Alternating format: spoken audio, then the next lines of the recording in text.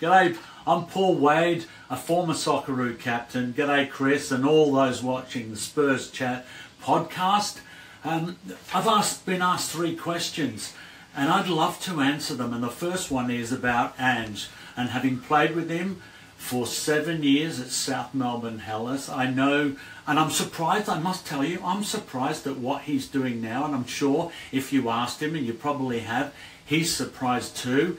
He had the, the fundamentals, but to see what he's doing now at the highest level is amazing.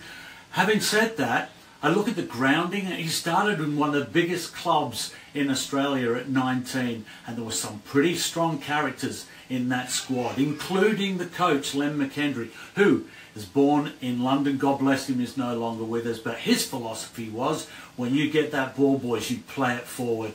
I don't want to see it go that way or that way. You put it on the ground and you play it forward.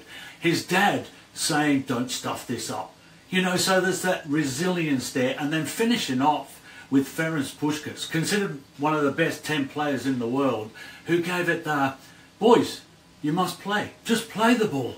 And if you're anywhere near goal, shoot. So he had this beautiful mixture of influence and he's put it all into what he believes and you guys are benefiting from it. Um, the only mistake he did make, he organised an end of season trip to Hawaii. But the, the idiot, his two weeks, the first week we were all going and the second week just the married boys are going. Duh. We spend the whole second week apologising for everything we've done in the first week. It's the only mistake he's made in football. We are very lucky. You are very lucky to have him. Now, am I happy with what he's doing now? Wow. For that club. You know what um, encapsulate, encapsulates Ange Postecoglou is that photograph of all the players and all the stuff. You know, I, I'm sure that you believe as I do, leadership is the example you set and the culture you create.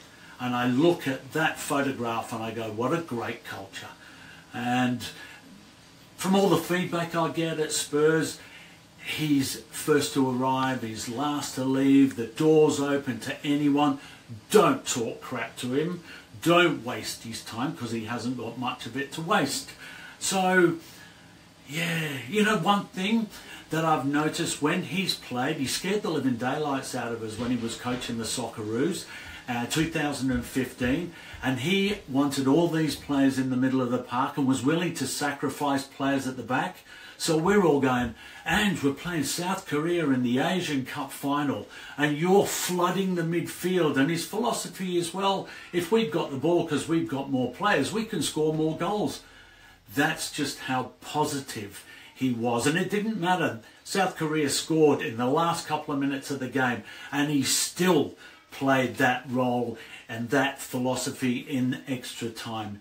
He's, um, he's quite an amazing man, and, um, and I'm sure it doesn't need me to tell you that.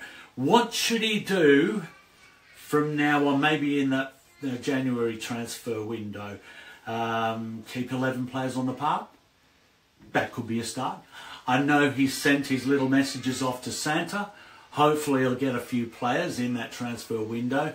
He knows that if you've got very good players, they're going to go and play for their country. All the coaches at the highest level know that. You know that.